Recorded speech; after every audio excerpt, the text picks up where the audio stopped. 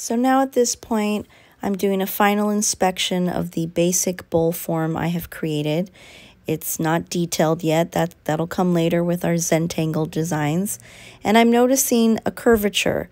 I'm dealing with some convex concave situations here, and that can happen as a result of accidentally overpinching. So one side of the bowl is noticeably bent inward. There's kind of a dent happening. Um, whereas the other side of the bowl here that I'm indicating with my hand, I'm happy with and looks, uh, you know, more normal.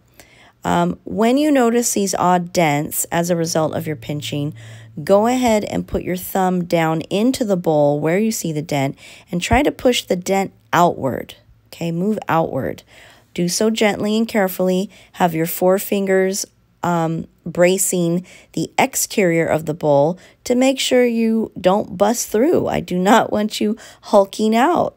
I don't want you to take that strong thumb of yours, because our thumb is stronger than we realize, and accidentally causing a tear while trying to repair a dent. Okay, so be mindful of that. And I'm just double checking the interior for flaws. I'm doing a final tap on the table at this point just to you know, get that flat, level lip.